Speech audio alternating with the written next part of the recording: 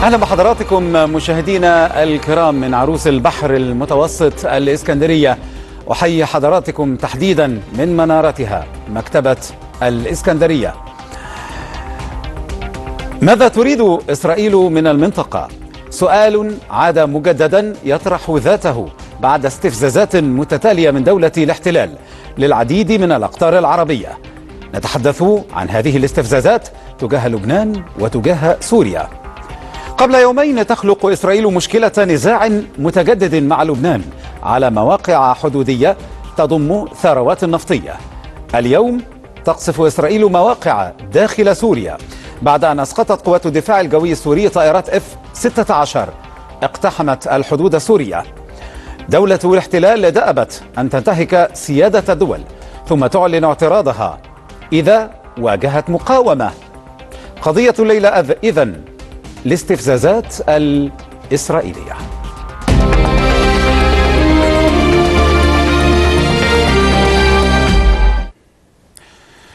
في تصعيد هو الأخطر منذ بدء الحرب السورية التي اندلعت قبل ثمانية أعوام وقع الصدام الإقليمي الأول داخل العمق السوري. الأمر الذي أنذر بتدهور خطير في النزاع متعدد الأطراف نتابع في حادث هو الأول من نوعه منذ ثلاثين عاما أسقطت المضادات السورية مقاتلة للاحتلال الإسرائيلي من طراز F-16 بعد غارات لها في سوريا وذلك عقب إسقاط إسرائيل طائرة بدون طيار زعم جيش الاحتلال أنها إيرانية اخترقت الأجواء الإسرائيلية ما يمثل تصعيدا تجاوز الحرب الكلامية إلى حرب على أرض الواقع بين إسرائيل وإيران. المواجهات المباشرة وغير المسبوقة تعكس الهاجس الإسرائيلي من محاولة ترسيخ التواجد العسكري الإيراني في سوريا في إطار استغلال النجاحات التي حققتها قوات الجيش السوري في القتال الدائري هناك. وهذه المحاولة تشمل نشر عشرة آلاف مقاتل إيراني وإقامة مصنع للسلاح إضافة إلى محاولات إقامة قاعدة جوية وميناء بحري. القلق الإسرائيلي المتنامي من تصاعد نفوذ طهران في سوريا. جسدته العديد من الغارات الإسرائيلية على الأهداف العسكرية السورية والتي جاء أبرزها في الجولان المحتل وريف دمشق فيما تستخدم إيران مكافحة الإرهاب الدولي ذريعة لتواجدها في سوريا بعد اتهامات لقوات الاحتلال الإسرائيلي بتمويل ودعم عناصر متشددة في سوريا. قوات الاحتلال قالت إن الهجوم الذي شنته على المواقع السورية هو الأكبر منذ عام 1982 وتم بنجاح وفي ضوء التطورات الأخيرة أعربت موسكو عن قلقها من تنامي حدة التوتر في سوريا. حيث دعت وزارة الخارجية جميع الأطراف إلى ضبط النفس مشيرة إلى عدم قبول تعريض أمن وحياة العسكريين الروس المتواجدين في سوريا لخطر مؤكدة أن القوات الحكومية السورية ملتزمة بالاتفاقات الخاصة بضمان ثبوت عمل منطقة وقف التصعيد في جنوب غرب سوريا. لا شك في أن إسقاط أكثر المقاتلات الحربية تطورا في العالم يشكل تحولا كبيرا في صراعات المنطقة والذي شكك في التفوق الإسرائيلي. الأمر الذي من شأنه أن يخلق وضعا جديدا على الحدود الشمالية السورية حيث أصبح من السهل تصاعد حدة التوتر بما ينذر بانزلاق المنطقة إلى حرب تأتي على الأخضر واليابس. إذا مشاهدينا الكرام أسرحة أسئلة كثيرة تطرح على الساحة الآن. يجب أن نستقرئ ما بين السطور. ينضم إلي مباشرة محمد سعيد الرز الكاتب والمحلل السياسي اللبناني. أهلا بك سيد محمد وتحياتي. لكن سأقول أولا إن الخارجية الإيرانية تعتبرت أن مزاعم إسرائيل بإسقاط طائرة مسيرة تابعة لها وكذلك دورها في إسقاط المقاتلة الإسرائيلية بسوريا اعتبرته أمرا مثيرا للسخرية. طهران على لسان وزير خارجيتها اتهمت إسرائيل بالكذب للتغطية على ما وصفته باعتداءاتها وجرائمها ضد دول المنطقة مشيرة إلى حق الحكومة السورية في الدفاع عن سيادة أراضيها والتصدي لأي عدوان خارجي. قبل أن ينضم إلي السيد محمد سعيد الرز أنتقل إلى المزيد من الأخبار حيث أدانت لبنان الغارات التي نفذها الطيران الإسرائيلي على أهداف في سوريا. وحذرت الخارجية اللبنانية تل أبيب من استخدام الأجواء اللبنانية لشن, هجمات على الأراضي السورية لافتة إلى أنها بصدد التوجه بشكوى لمجلس الأمن لإدانة وتحذير إسرائيل من استخدام الأجواء اللبنانية.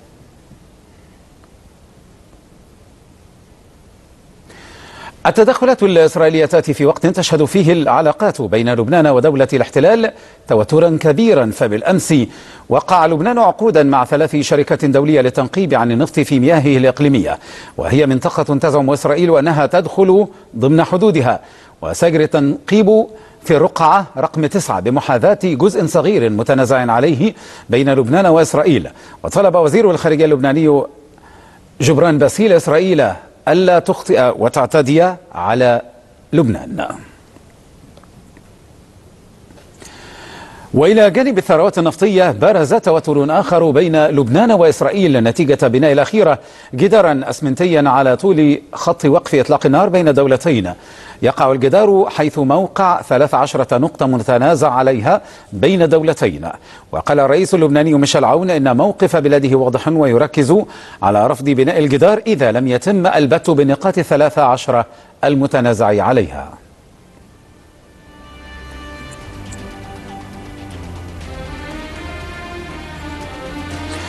إذا ملفات كثيرة نناقشها في فقرة الليلة لماذا تلجأ إسرائيل لكل هذا التصعيد؟ ولماذا تفتح دولة الاحتلال جبهة جديدة على الجيش السوري الذي اقترب من تطهير بلاده من العناصر الإرهابية؟ أيضا لماذا تستفز إسرائيل لبنان سواء ببناء جدار حدودي؟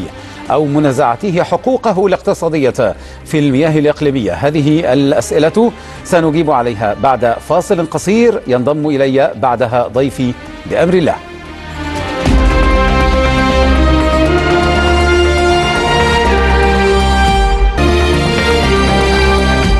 أهلا بكم مشاهدي الكرام مرة أخرى. للمزيد ينضم إلي مباشرة محمد سعيد الرز كاتب ومحلل سياسي لبناني. أستاذ محمد أهلا بك ومرحبا. إذا ما يجري في لبنان الآن ما يجري في المنطقة الآن محض استفزازات إسرائيلية. ربما أيضا يعني يعني كما يقول المثل أنه ضربني وبكى. إسرائيل هي التي تتعدى ثم هي التي تشتكي من إسقاط طائرتها؟ كيف تنظرون إلى الأمر في لبنان؟ أسعد الله مساءكم في البداية. ما يجري في لبنان أو ما يجري في المنطقة حاليا لا أعتقد أنه مجرد استفزازات إسرائيلية. لقد وصل إلى وصلت إلى الحكومة اللبنانية وإلى المسؤولين اللبنانيين منذ حوالي الأسبوعين معلومات استخبارية وتقارير دبلوماسية على يعني درجة كبيرة من الدقة تفيد بأن هناك يعني تنسيقا أمريكيا تركيا إسرائيليا لوضع المنطقة على خط زلزال حربي واسع. وتضيف هذه المعلومات بأن هذه الحرب وليست استفزازات يعني هذه الحرب سوف يعني تشعل المنطقة خاصة تبدأ في لبنان وسوريا وقد تمتد إلى مناطق عربية أخرى.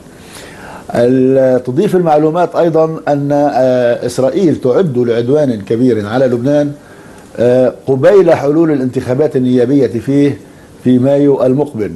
وذلك لمنع حزب الله أولا لتعطيل الانتخابات ومنع حزب الله من الوصول إلى البرلمان هو وحلفائه بتكتل نيابي كبير وبالتالي يتيح لهم تمثيل أوسع أو دور أوسع سياسي سواء في البرلمان أو سواء في الحكومة اللبنانية المقبلة. وكذلك لمنع لبنان من استخدام حقه في استخراج النفط من البلوك رقم 9 في المياه الإقليمية اللبنانية قبالة بلدة الناقورة اللبنانية الجنوبية. هذه المسائل كلها إذا أخذناها بعين الاعتبار فهي تشبه أجواء حرب.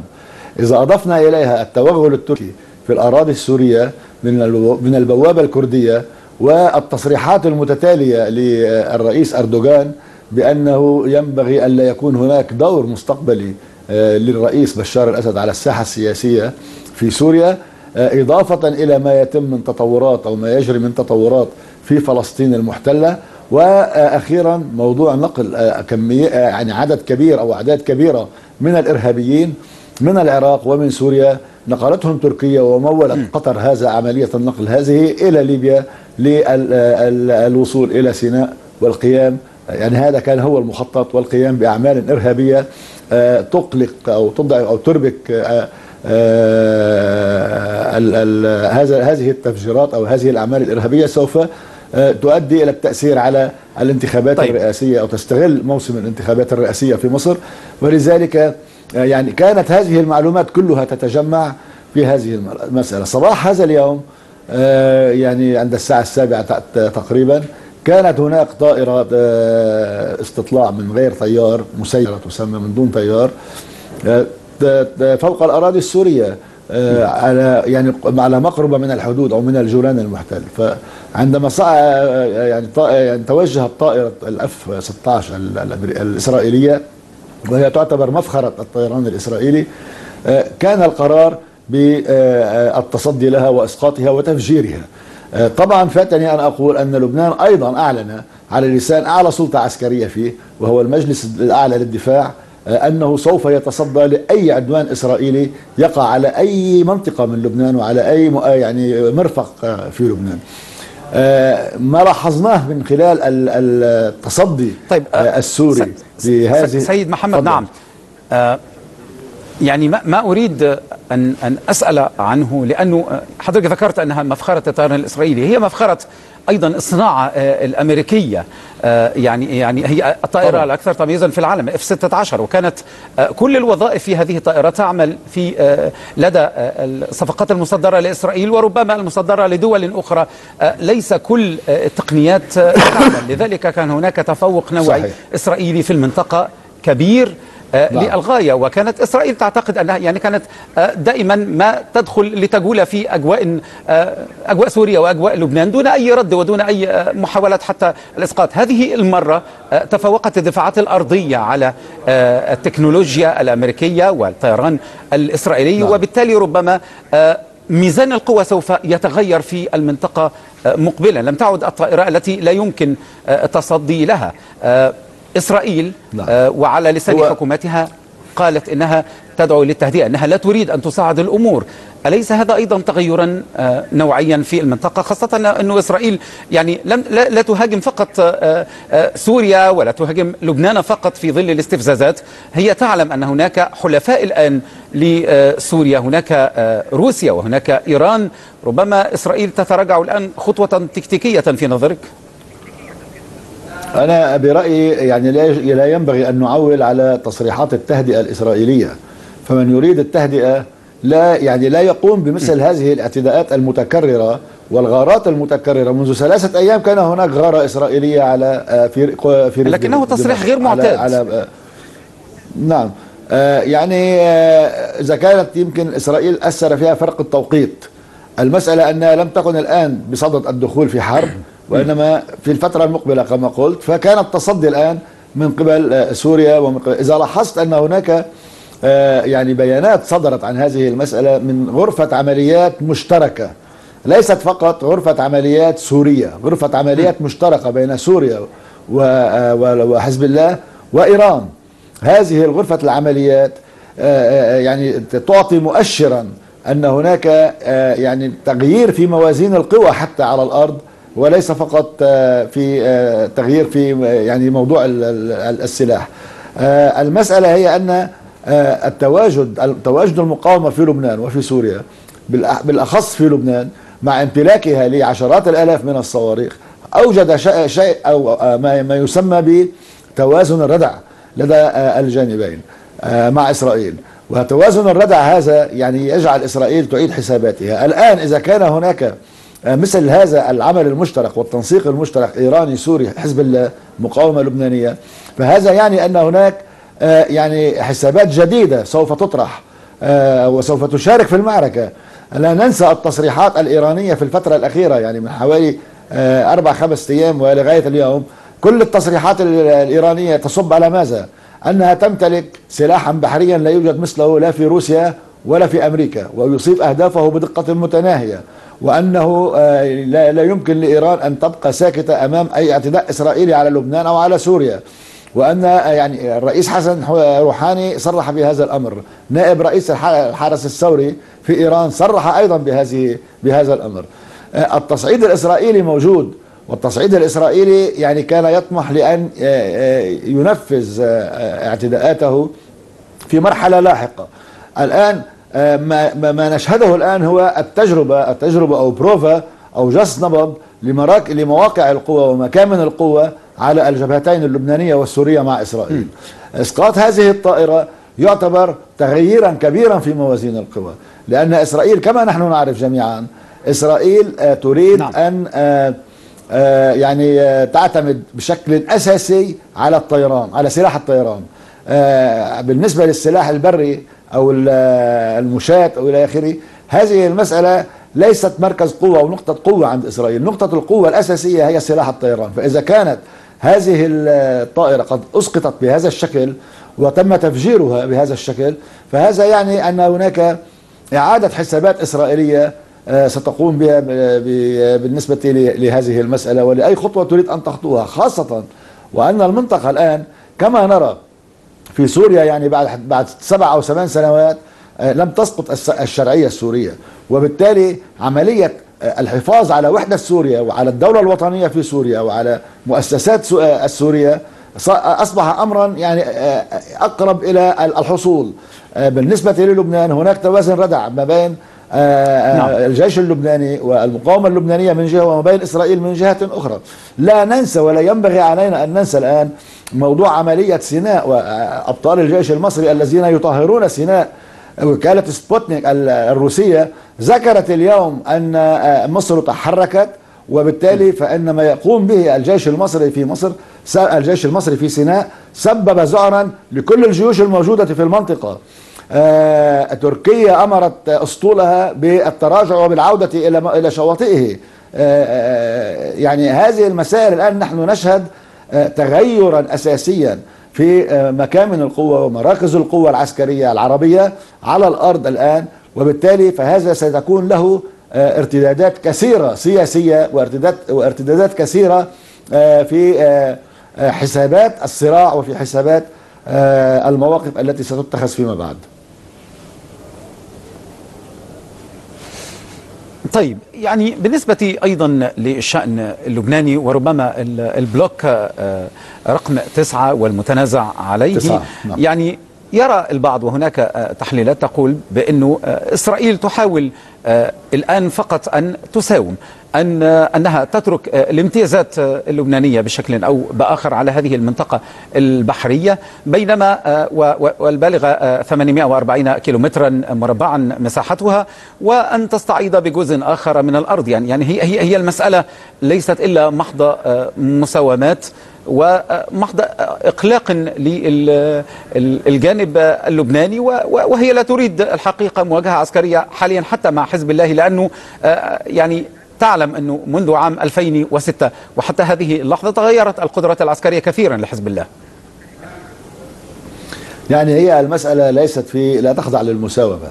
أولا هناك أراضي لبنانية محتلة من قبل إسرائيل لا تزال لغاية الآن في مزارع شبعة وفي آه، نعم. تلال كفرشوبة وفي آه، قرية الغجر آه، الساحلية هناك أراضي لبنانية الجدار الذي تبنيه إسرائيل ما بين ما بينها وبين الجانب اللبناني هذا الجدار يعني صحيح أنه يشكل عدوانا ولأن الأراضي اللبنانية المحتلة تقع خلفه ولكن هو في نفس الوقت هو يعبر عن خوف إسرائيلي حقيقي من من من من, اندلاع حرب مقبلة ل- فلذلك بنت هذا الجدار.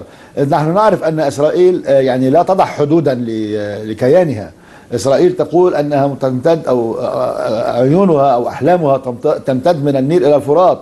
وبالتالي عندما تضع هذا الجدار ما بينها وبين ما بين لبنان ومع سوريا وما بين وما بينها وبين غزة وما بينها وبين يمكن عم تحاول تعمل كمان جدار آه، بينها وبين مصر يعني هذا يعبر عن قلق إسرائيل البالغ خاصة وأن إسرائيل تصدق حسن نصر الله أمين عام حزب الله. يعني أكثر من جنرال إسرائيلي صرح بأنهم يصدقون ما يهدد به وهو قال أن المعركة المقبلة لن تكون في الأراضي اللبنانية سوف تكون في الأراضي الفلسطينية. وهذا يعني مؤشرا خطيرا بالنسبة لإسرائيل على ذلك. ولكن كما قلت في البداية المخطط الدولي يعني سواء كان يعني يعني بالتنسيق الأمريكي التركي الإسرائيلي يهدف إلى يعني إضعاف أو خلق أمر واقع جديد في لبنان وفي سوريا. هذا الأمر الواقع السياسي الجديد الذي يريدون خلقه في لبنان وفي سوريا هو الا يكون هناك جبهة مواجهة وبالتالي هذا يستلزم تقليص قوة المقاومة في لبنان وتقليص قوة الجيش في سوريا في سوريا يمكن أن يكون هناك التوجه للتقسيم كما أثير مؤخرا نعم. وفي لبنان أن يكون هناك إضعاف لحزب الله آه. وبالتالي يعني سيد محمد أريد أن أشكرك على وجودك معي محمد سعيد رز الكاتب والمحلل السياسي اللبناني ومشاهدينا الكرام أشكر حضراتكم أيضا من الإسكندرية. كل تحياتي دمتم بأمان الله.